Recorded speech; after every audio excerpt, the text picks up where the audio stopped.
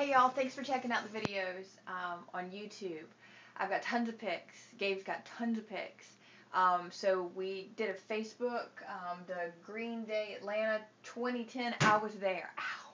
So click like, go find it. Uh, Green Day Atlanta 2010 on Facebook. Uh, like it because we're putting more and more and more. Cool. Just want to let you know I'm old school. I'm trying and whatnot you see all this awesome footage. Alright, cool. Peace out.